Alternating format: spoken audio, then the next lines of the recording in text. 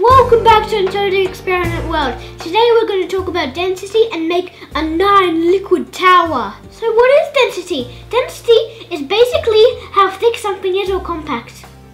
For today's experiment we're going to need honey, corn syrup, maple syrup, milk, dishwashing liquid, water, vegetable oil, rubbing alcohol and lamp oil. We put an equal amount of liquid in each jar and we put food coloring in the rubbing alcohol and water. We'll in order of its density and that's how we're going to put it in the jar. To put some of the liquid, you're going to need turkey buster, so ask your mum. She uses it for cooking. Let's see if the experiment works. Let's put safety goggles on.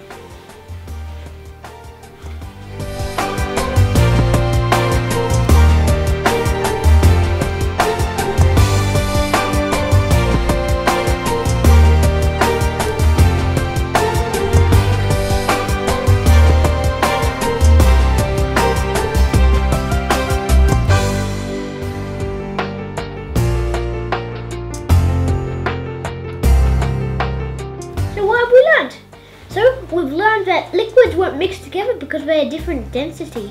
Guys, I hope you enjoyed my experiment video. If you like it, don't forget to subscribe. Bye!